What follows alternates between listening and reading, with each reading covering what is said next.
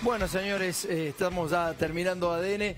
Bueno, lo que, lo que vimos es realmente tremendo, ¿no? Es la segunda vez, claro, que, Macri espía a un, cuñado, digamos, ¿no? Repite la historia de espiar a los familiares y en ese caso la causa quedó totalmente impune porque lo salvaron a semanas de, de asumir la presidencia. Eh, Eso fue, eso fue tremendo, ¿no? Eso, eso es tremendo. Me parece que en, en las cosas que va a quedar pegado Mauricio Macri es en esto, porque son encargues eh, particulares de- del propio Te presidente. preguntaba ¿no? fuera del aire, Tomás, y me parece un dato importante para que la gente conozca. También hay periodistas espiados por este, este sistema. Hay dos periodistas espiados, eh, uno es Alconamón y el otro es Pañi. Y también hay periodistas que son parte de este sistema. Y hay un periodista que es, por lo menos fue parte en una operación que se realizó.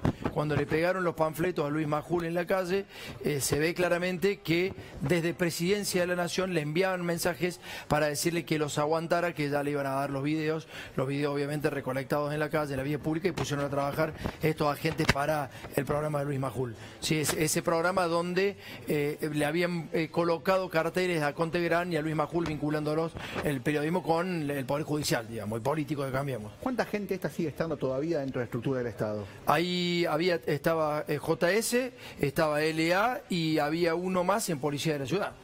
O sea, digamos, dos o tres más en Policía de la Ciudad.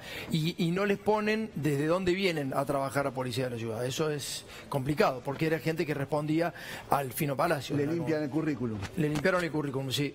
Y JS, que era el, el jefe, digamos, de los, de los pibes, en general el resto era más chico, eh, se estaba por jubilar ahora en octubre y evidentemente están hasta las manos porque los teléfonos los dejan pegados, ¿no? Después de que estás contando esto, yo no sé si a hablar con vos por teléfono. No, me, me parece que hoy los teléfonos no están siendo. Hoy me parece que la AFI no está en eso, digamos, ¿no? Pero estos- esta gente, con la cantidad de plata que manejaron, ¿vos no pensás que tenían recursos que se compraron y se quedaron? Muchísimo. ¿No solo las carpetas? Sí, puede ser, muchísimo. 1.200 millones de pesos manejaron mínimamente. Señores, nos encontramos mañana nuevamente en ADN. Muchísimas gracias a todos. Miguel, Pablo, hasta Tomás, nos vemos. Chao. viejo.